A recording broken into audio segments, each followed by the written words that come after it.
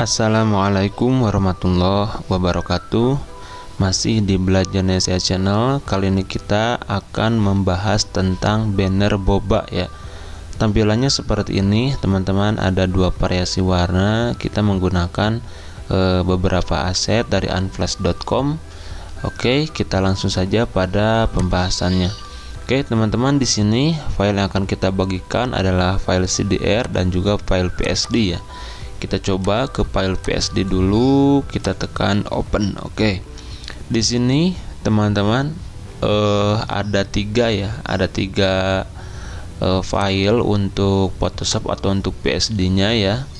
Yang pertama ada untuk landscape dengan warna coklat seperti ini. Yang kedua coklatnya mungkin agak ke kuning-kuningan ya. Ya dan yang ketiga adalah warnanya seperti yang pertama tetapi ini dibuatkan menjadi X banner barangkali nanti teman-teman mau dibuat X banner dalam e, pembahasan kali ini ada beberapa tutorial yang saya contohkan. Pertama adalah mengubah warna ya. Di sini teman-teman kalau mau mengubah warna mudah saja. Ada pada hue saturation ya pada bagian layer seperti itu. Lalu tinggal kita pilih saja ya. Di sini tinggal kita drag saja warna yang teman-teman inginkan. Tentu di sini eh, kalau mau menggunakan warna belakangnya saja ya warna backgroundnya tanpa mengubah warna dari di sini eh, apa kayunya teman-teman bisa memindahkan ya ini kan untuk backgroundnya ada ya di bagian grup di sini tinggal ungroup layer aja dulu ya ungroup player kita scroll ke bawah. Uh, di sini kan ini ada ya. Nah ini adalah kayunya ya sedangkan untuk belakangnya adalah warna coklat yang ini. Jadi teman-teman uh, nanti pada bagiannya ya ini ada dua ya. Kita coba kita coba diubah warna belakangnya aja. Nah seperti itu. Untuk merubahnya teman-teman kita seleksi dulu pada bagian belakangnya di sini jadi kita seleksi dulu bisa menggunakan rectangle tool ya seperti ini. Misalkan ingat teman-teman hanya bagian warna belakangnya saja ya seperti itu. Setelah itu kita kembali lagi ke layer lalu di bagian ini kita masuk lagi ke bagian hue saturation ya kita pilih. Nah seperti itu. Jadi pada bagian layer nah di sini ada hue saturation tapi dibuatnya hanya ke bagian atasnya saja ketika kita klik dan kita ubah itu hanya warna belakangnya saja ya seperti itu. Karena mungkin untuk warna e, dari kayu itu sudah harusnya natural warna coklat ya jadi supaya tidak terubah ya seperti itu. Silahkan nanti teman-teman bisa diubah untuk warnanya.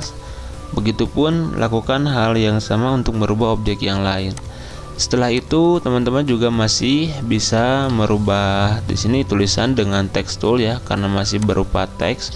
Selanjutnya di bawah juga sama ada text toolnya seperti itu, jadi tinggal diubah saja ya.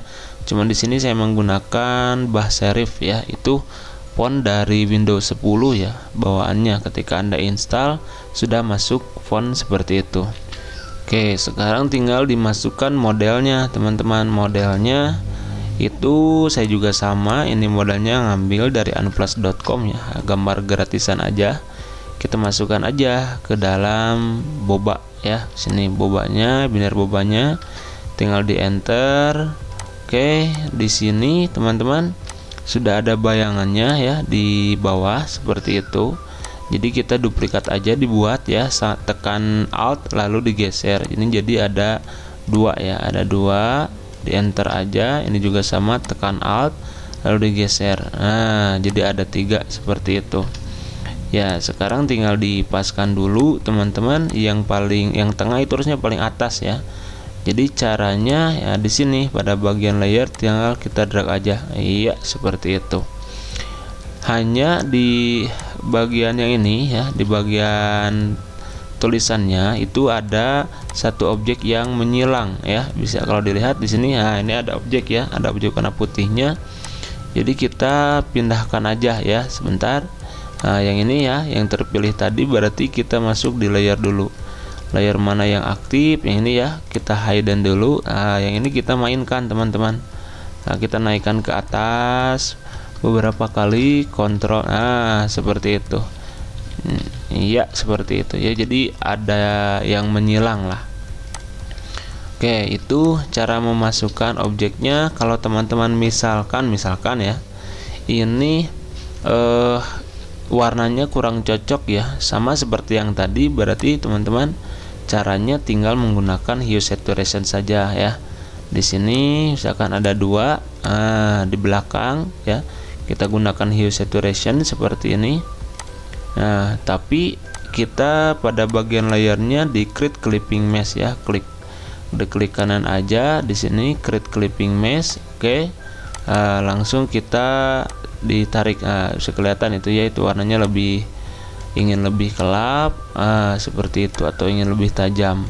Begitupun untuk objek yang lain ya. Jadi ini tinggal diduplikat aja kalau mau yang sama Ctrl J ya seperti itu lalu ditarik ke bawah. Nah di sini tinggal dibuatkan klik kanan lalu create clipping mesh. Nah ketika digeser maka hanya objeknya saja. Ini kalau yang belakang ya untuk bobanya. Kayak itu cara merubah warna dan merubah teks juga memasukkan model.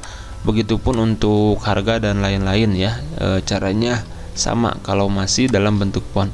Oke sekarang kita menuju pada file yang CDR ya. Di sini file yang CDR kita klik kanan lalu kita open saja dulu.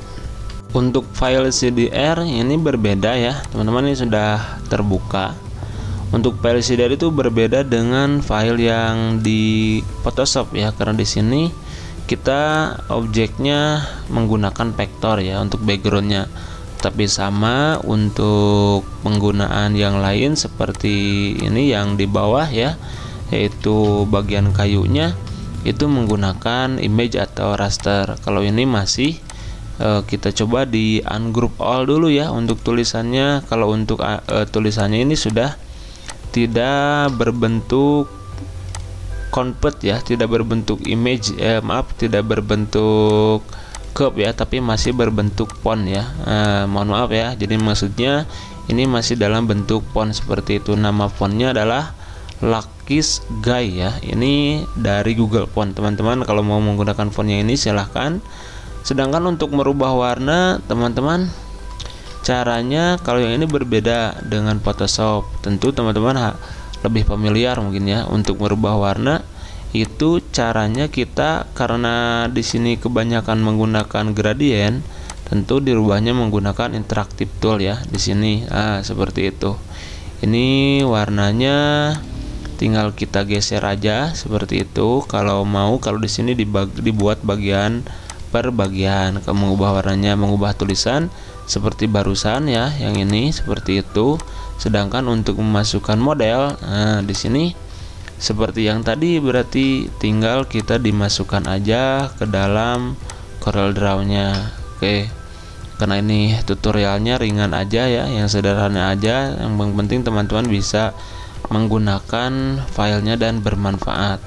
Seperti yang tadi berarti tinggal diperbesar aja lalu diduplikat dia drag lalu klik kanan lalu diperkecil seperti itu ya lalu diklik kanan diklik kanan kembali sambil di drag diperkecil kembali.